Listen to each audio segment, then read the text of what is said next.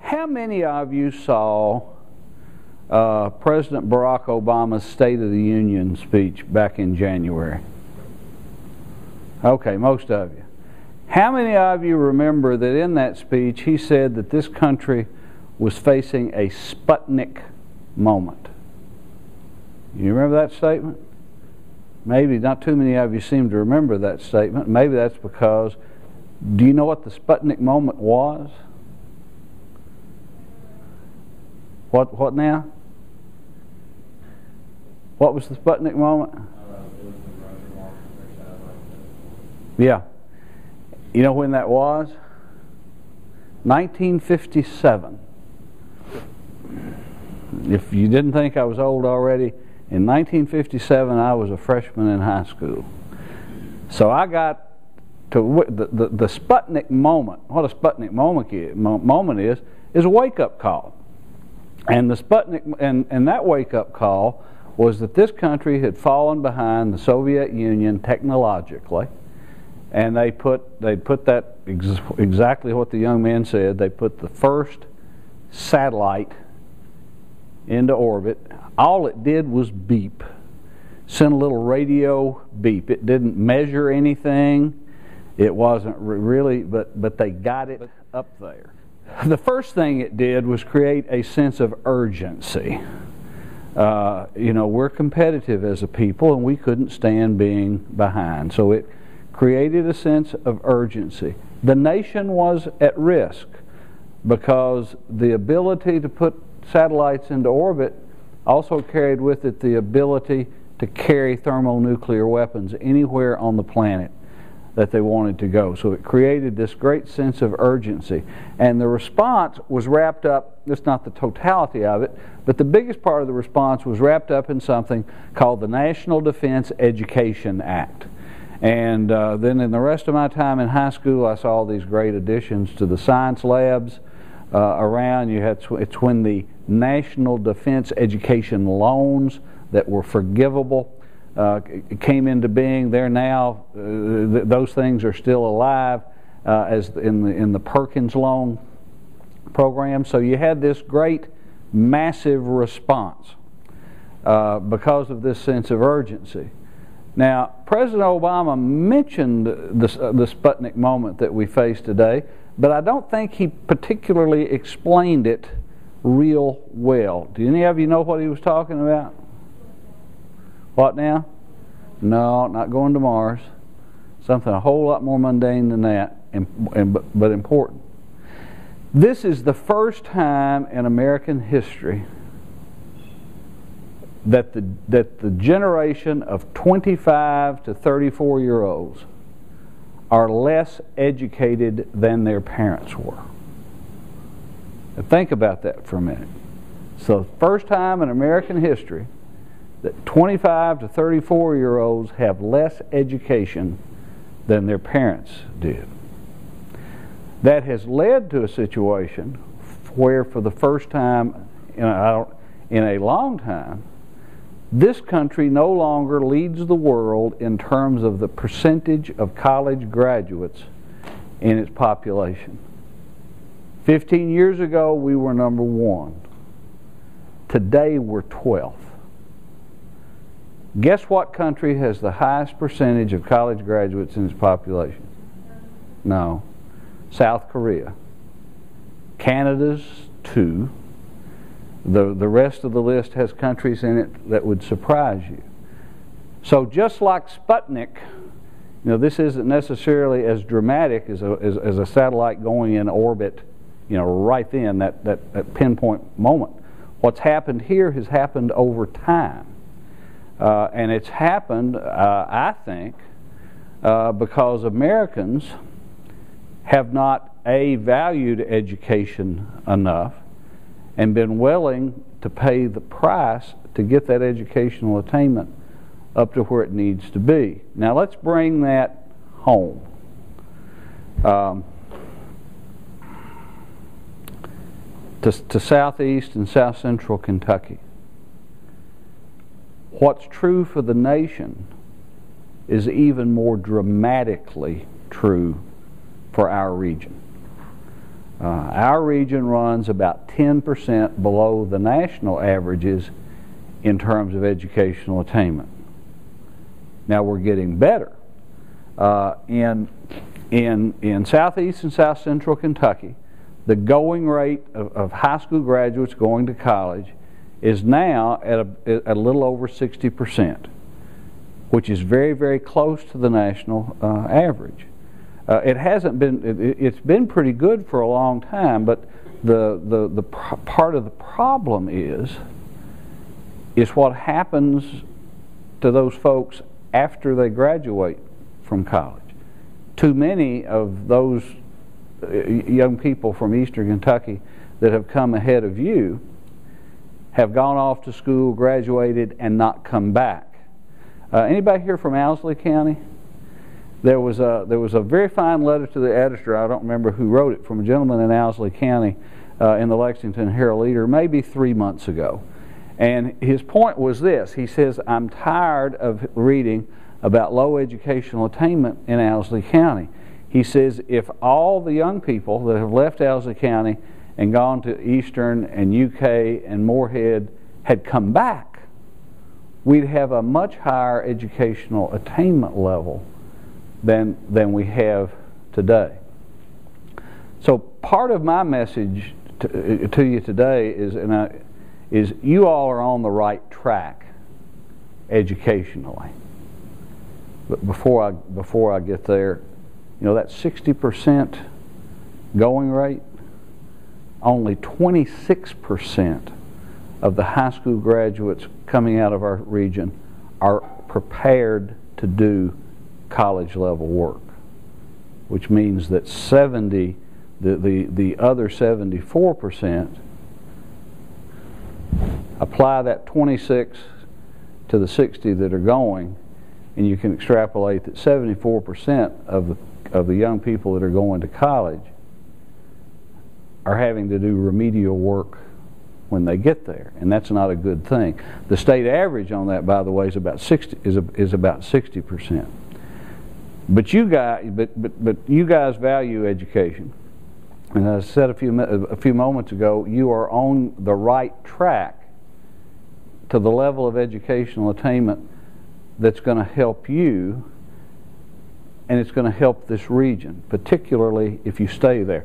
This center and the work that Congressman Rogers has done throughout the 5th Congressional District has been aimed, a significant part of it is aimed at entrepreneurship and small business development because, folks, that's the, that's the major way that we're going to provide opportunities throughout the 5th Congressional District for educated people to find the kind of employment that, that justifies the investment that they've made in their, in, in their education. The other thing that you're doing is you're preparing yourselves for leadership. And that's what I like, you know, the small commercial here for Eastern Kentucky University. We concentrate on three things. We concentrate on student success, regional stewardship. That's one of the reasons I'm here today. And in making our students informed, critical, and creative thinkers who can communicate. And those, those three skills, critical thinking, creative thinking, the ability to, to communicate, are essential for leadership. And that's why I like to think that one of the major things that we do at Eastern is prepare people for, for, leader, for leadership roles.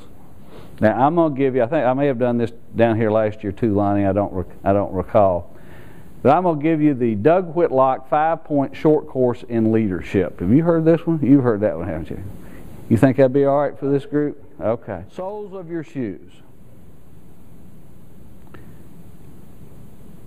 Everybody in a leader leadership position at any level. I don't care whether it's I don't care whether it's your class president, uh, local government official, university president, U.S. congressman, president of the United States. Everybody that's in a leadership position at some time or other is going to be tempted to do one of two things. Either do the right thing the wrong way, or to do something that's patently wrong. And the temptation to do the right thing the wrong way is sometimes sort of uh, sort of seductive. Uh, that's that old trap that the that the ends justifies the means. But the thing that you've got to keep in mind is that process uh, is important. So not only is it important to do the right thing, it's important to do the right thing the wrong way, the right way. So you might be tempted to do the right thing the wrong way, or you might just be tempted to do something that's just patently wrong, unethical, illegal, you name it. When that happens, take the high road. Take the road so high that the only thing your tempters see are the soles of your shoes. So that's soles of your shoes. No mirrors. And I'll use the word seduct, seductive a few times here, I guess. But leadership, leadership is also seductive. You know, we've all heard the, the, the, the statement that power corrupts and absolute power corrupts absolutely. Uh, some people relish being in leadership roles because they think it it glorifies them. Simple fact of the matter is is that leadership's not about the leader. Leadership is about the people in the organization, but more fundamentally, leadership is about the mission and purpose of, of the organization, whether that's a business, whether that's a local government, whether that's a university, any organization that you can name the mission, which is usually focused on what the service, the goods and services are uh, that, that the organization is supposed to be doing, that's what's important. You've all heard the, the, the thing that it's amazing what you can get done when you don't care who gets the credit. So that's part of this too. Ego is not part of leadership. So no mirrors. You don't need anything to reflect your glory back on yourself because it's not about you. Be lazy. This is not completely foreign to the first one. Every leader at some time or other is, attempt, is tempted to sugarcoat something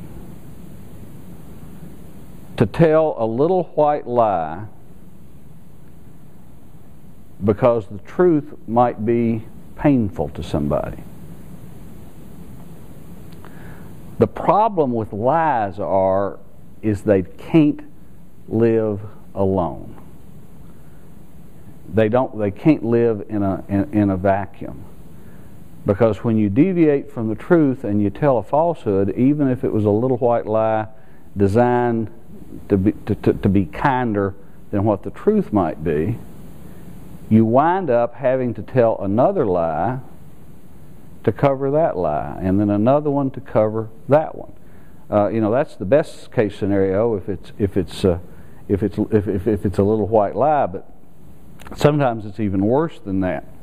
And somewhere along the line, you all run into folks who are deceitful who like to play one person off against another, and they'll tell person B something about person A, and person B and in person A something about C or B, and they weave these great webs of deceit. Now, whether you're talking about little white lie and all the other little white lies that have to support it, or whether you're talking about something truly deceitful, it gets to be a lot of work. I mean, you've got to remember what version of it you told this person, and what version of it you told this person, and what you said about this person to that person. So be lazy. Always tell the truth, and then you don't have to remember what you said. Oh, that's the first three. Right guard. You've all heard, or you've probably heard it sometime or other, that leadership is lonely. Uh, and there are certain things that the leader has to internalize and, and, and, and ponder on. Ponder is a wonderful word. Uh, and, uh, and, and, and keep to himself or herself until the time is right, or sometimes you have to hold. This is another thing about leadership. If somebody asks you to keep something in confidence and they haven't killed somebody or committed some other kind of, uh, of, of felony, if, if, if they're sharing with you something that's not illegal, if somebody asks you to keep something in confidence, take it to your deathbed. Uh, because otherwise, other, because trust, trust is something that once lost is extremely difficult to, uh, to regain. And leaders can, can, effective leaders do not suffer from knee jerk reactions. You don't go off half cocked. You don't believe by default the first version you hear of something. Get all of your information.